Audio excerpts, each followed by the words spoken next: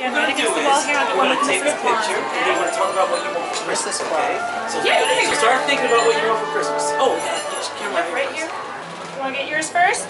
No, I, just I want him to You tell Santa it? what he wants. All right, Oh, okay. come right over